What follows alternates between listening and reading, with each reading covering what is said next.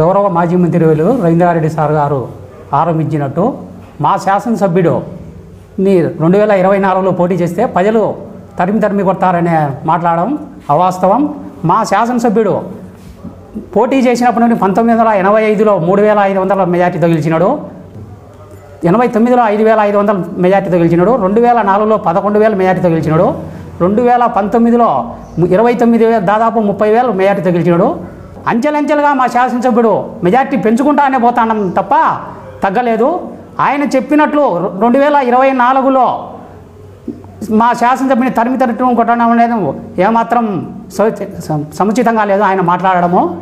మా మా కాజీపేట మండలంలో కూడా గత రెండు వేల పద్నాలుగులో ఐదు వేల ఐదు వందల మెజార్టీ గెలిచి వచ్చింది.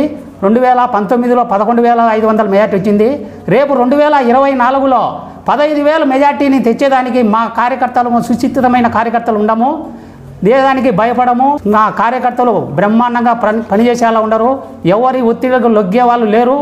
రెండు వేల ఇరవై నాలుగులో శాసనసభ్యుడు రవి రఘురామరెడ్డి సార్ గారు కానీ ఆయన తనయుడు కానీ పోటీ చేస్తే కాజీపేట మండలంలో పదహైదు వేల మెజార్టీని తెచ్చేదానికి మేము అంకితభావంతో పనిచేసేదానికి సిద్ధంగా ఉన్నాం. ఇది ఒట్టి మాటలే కాదు.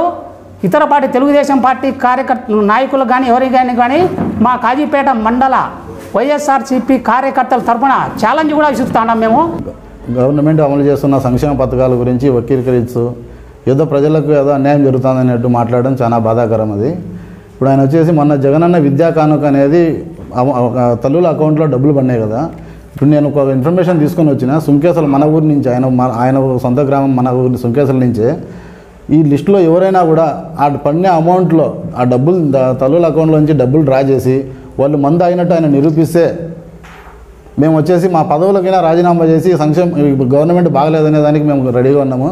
ఆయన ఇటువంటి మాటలు మాట్లాడుకోకుండా సంక్షేమ పథకాలను వక్రీకరించకుండా మేము ప్రభుత్వానికి ఏదైనా సరైన సలహాలు ఇవ్వాలి కానీ ఇటువంటి మాటలు మాట్లాడి ప్రజలను తప్పుదారి పట్టించే విధంగా చేయ చేయకూడదని కోరుకుంటున్నాను